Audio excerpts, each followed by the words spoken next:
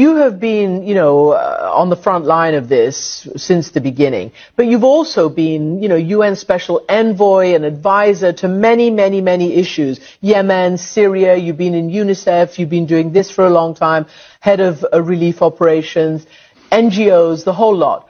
Have you ever seen anything like this? Well, how do you assess what's happening right now in terms of humanitarian needs in Gaza?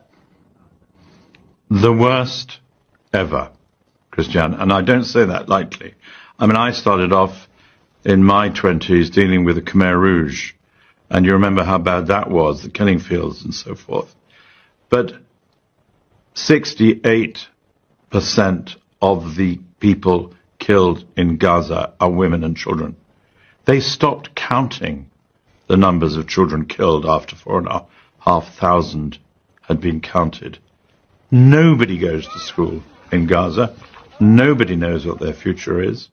Hospitals have become a place of war, not of curing. No, I don't think I've seen anything like this before. It's complete and utter carnage.